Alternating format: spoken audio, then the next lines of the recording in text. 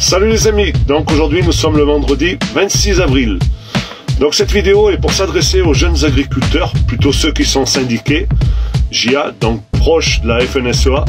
Mes amis, c'est pas que je vous en veux, mais un petit peu, parce qu'il faudrait vraiment que vous vous réveilliez, que vous arrêtiez de suivre votre gourou, votre gourou Rousseau, qui est juste là pour euh, qu'on asservisse l'Europe et qu'on affame la France. Donc euh, je sais qu'à l'école, vous n'avez pas eu ce discours. Vous avez le discours ultralibéral, productivisme, outrance, exportation, mais tout ça, c'est un leurre. C'est un leurre parce qu'au final, on voit bien qu'on disparaît, on disparaît tous. Toutes les productions sont entachées. Jusqu'à présent, il y avait les céréaliers qui s'en sortaient plutôt bien. Là, c'est fini avec euh, la libéralisation des frontières avec l'Ukraine. Euh, le tout va, euh, on va leur donner des armes, ils vont nous donner du blé, du blé qui va rentrer à 90, 100 euros, donc impossible de rivaliser. Donc, si vous l'avez pas compris, là, vous allez la sentir passer, la douleur. Donc, mes amis, il faut absolument que l'on fasse le Frexit, qu'on sorte de cette Europe. Regardez votre ancien président des GIA euh, de 2000, aux alentours de 2015-2020. Il est rentré en 2019 à l'Europe. Qu'est-ce qu'il a fait depuis Il a que signé des accords de libre-échange. Jamais il a défendu l'agriculture française.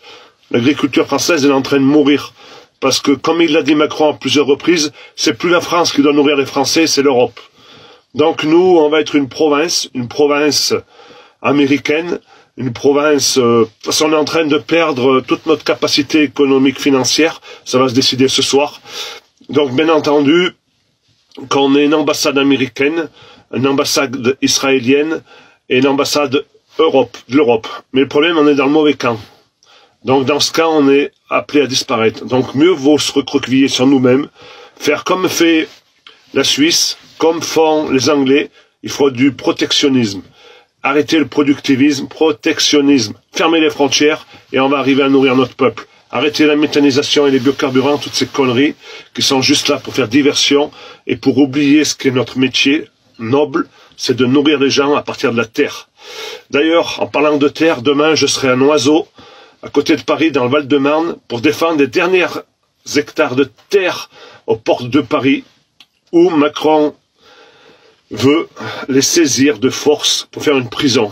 Donc il en va de nos souverainetés agricoles, alimentaires, les amis. Donc les GIA, moi, si je fais tout ce que je fais, c'est pour vous, les GIA. Vous êtes l'avenir de la France, l'avenir de l'agriculture. C'est pas moi. Moi, à 50 ans, mon avenir est derrière moi. Je me bats, c'est pour vous. Donc, Faites-moi-le en retour. Bougez-vous, secouez, secouez le cocotier en haut là-haut. Faites-leur comprendre, c'est pas la solution. On le voit, les résultats. Des, on a 30, 40, 50 exploitations qui disparaissent tous les jours.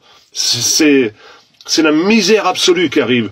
Euh, la génération de nos anciens va être à la retraite d'ici 7, 8, 10 ans. Il va rester plus personne. Vous voulez des hectares, vous allez en avoir à foison. Le souci, pourquoi faire? Pour faire, pour payer toujours plus de charges et rien comme produit, parce que comme je vous l'ai dit tout à l'heure, exporter c'est fini. On n'est pas compétitif, on ne sera jamais compétitif. Tout est fait pour qu'on ne soit pas compétitif au niveau économique, au niveau environnemental et écologique. On ne tient pas la route vis-à-vis des autres. Parce qu'on veut laver plus blanc que blanc, ça c'est très bien. Mais lavons plus blanc que blanc pour produire pour nos Français. On ne doit pas produire pour les Chinois et importer de la merde de l'autre bout du monde. Non. On n'en veut plus de cette merde et on veut plus vendre pour des clopinettes.